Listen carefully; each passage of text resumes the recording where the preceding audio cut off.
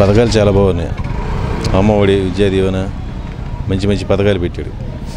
ఎన్ని పేదవాళ్ళకి ఆసరా లేని వాళ్ళకి మంచి అవకాశం ఇది.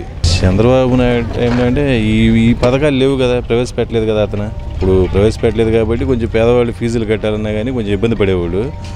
ఇప్పుడు ఏంటంటే కొంచెం మంచి పథకం ఇది. పిల్లల కోసం మాత్రం ప్రతి అమ్మకు కూడా ఇప్పుడు తండ్రులు ఎలా సంపాదిస్తారు కొంతమంది ఇంట్లో ఇస్తారు ఇవ్వని వాళ్ళు ఉంటారు. ఇక అలాంటి వాళ్ళకి కొంచెం తల్లికి మాత్రం మంచి భరోసా ఇది. సంవత్సరానికి ఒక పదిహేను వేలు విద్యా దీవెన పెద్ద పెద్దలు డిగ్రీ వాళ్ళకి వాళ్ళకి టెన్ థౌజండ్ వేసాడు పిల్లలకి పదిహేను వేలు వేసాడు. చాలా బాగుంది. ఎడ్యుకేషన్ మాత్రం number one government school English medium పెడతాం.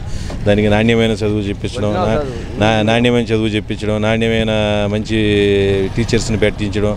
ఎడ్యుకేషన్ మీద మాత్రం చాలా మంచి దృష్టి సారించారు. ఇది మన భవిష్యత్తుకే బాగుంటుంది మంచి బాట అన్నమాట. ఎందుకంటే చదువు ఉంటేనే ఎవరికైనా కానీ రేపటి రోజు బాగా బ్రతకగలరు. ఎన్నికలే ఎన్నికలంటే దాంట్లో కూడా ఆల్మోస్ట్ వైసీపీ వస్తుందండి. ఎందుకంటే పాలన బాగోకపోతే చెత్తగా ఉంటే ఏమన్నా హామీలు నెరవేర్చకపోతేనో ఏదో ఓట్లు వేయించుకున్నారు సీఎం అయ్యాడు తర్వాత ఏం చేయలేదు అని చెప్పేసి జనాలు కానీ వ్యతిరేకత వచ్చింది వ్యతిరేకత ఏం లేదండి ఇప్పుడు.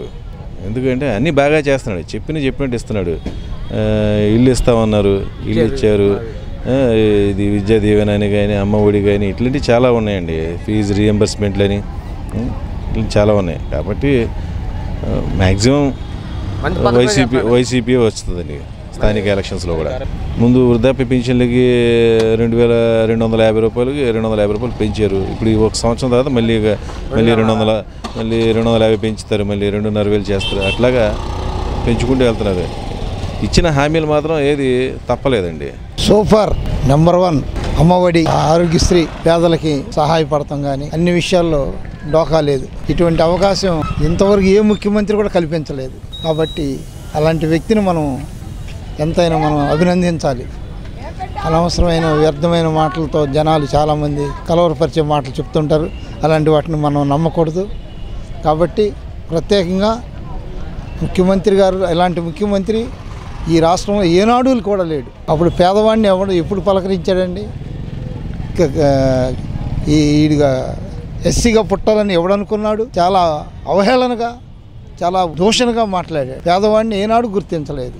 పేద ప్రజలకి స్టూడెంట్స్ కానీ విద్యార్థులు కానీ ఆరోగ్యశ్రీలు కానీ వెళ్తే మీకు లేదు అది లేదు ఇది లేదు. ఇదే చెప్పడం తప్ప మేము ఇది చేస్తున్నాము ఇది ఉంది ఇది ఇది కార్యం చేస్తామని ఏనాడు ఎవడు పట్టించుకోలేదండి.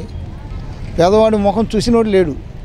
ధన ధన వరకు ధనవనుత్తుల వైపే చూశారు కానీ పేదవాడిని ఎక్కడ పట్టించుకున్న పాపాలు లేదు. పెద్ద ఏమో మాకేం ఉపయోగపడలేదండి. మాకు పేదలకి ఏం ఉపయోగపడలేదు. అది ఇప్పుడు పెన్షన్లు ఇచ్చే విషయంలో కానీ పేదలకి సహాయపడే విషయంలో కానీ కంటివేలు కానీ కానీ ఆరోగ్యశ్రీ కానీ పేద అమ్మఒడి కానీ అనేక రకాలుగా అనేక రకమైన పథకాలు పెట్టి చేయూతనిస్తూ ప్రతి ఒక్కరికి ఉపయోగపడుతున్నారు. ఇలాంటి ముఖ్యమంత్రి ఎంతైనా మనకి ఉండాలి. దేవుడు కలకాలం ఆయన దీవించాలి. ఈ వీడియో గనక మీకు నచ్చినట్లయితే లైక్ చేయండి షేర్ చేయండి. మరిన్ని వీడియోస్ కోసం మా ఛానల్ను సబ్స్క్రైబ్ చేయండి.